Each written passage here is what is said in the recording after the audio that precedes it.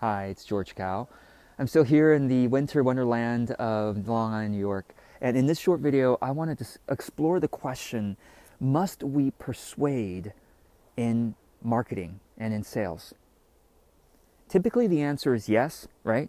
Typically, uh, marketing teachers tell us that we must convince our audience to buy from us, convert them into buy, from visitor to buyer.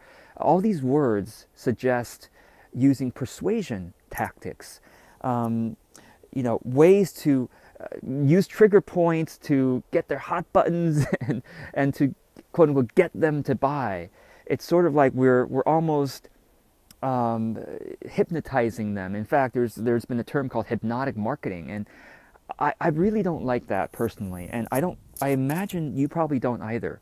Um, it doesn't feel great when we feel like we've been persuaded against our own will.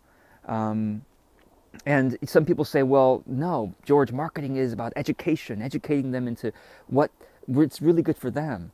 But here's the thing we're not parents to our clients and customers that are children. They're, we're adult to adult conversation here. Each, everybody has their own free will, and when you use a persuasion tactic, what you're suggesting is that um, we are overriding someone's free will. We are kind of tricking their free will into obeying what we want. And I don't think that's necessary. Let me give you a better alternative. The better alternative instead of persuasion is alignment. What are we aligning?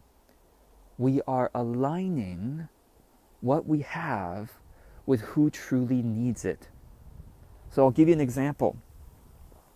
Uh, this is a bit of a, a uh, odd example, but let's say that you've developed a solution to cancer. Um, if you have a solution to cancer, you won't need to do much selling, do you? You just tell someone who knows someone who has cancer, and the word will spread like wildfire. You don't have to persuade anyone because people need it. Okay, now, let's say you have developed a solution to the cancer of the right toe.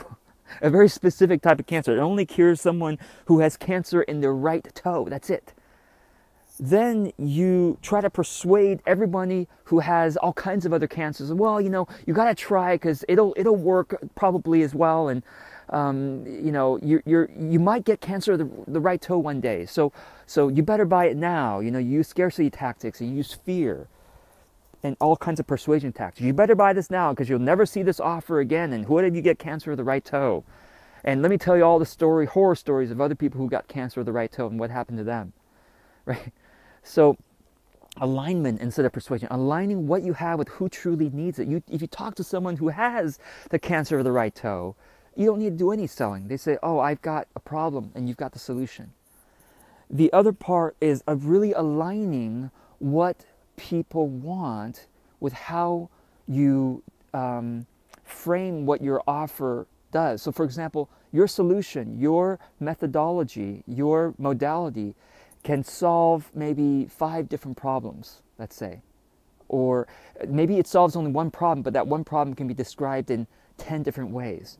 But in your marketing, if you only use way number one and someone needs to hear way number two, you know, version number two and you're using version number one, that's misalignment and you don't sell. And so, really, instead of persuasion, you get to know people's needs and you get to know how they describe their challenges and how they describe their dreams. And if and only if your product can truly solve their problem or help them get to their dream, then you frame your marketing in that way to align what you have with what they need and how they describe it. It's not about persuasion, it's about alignment.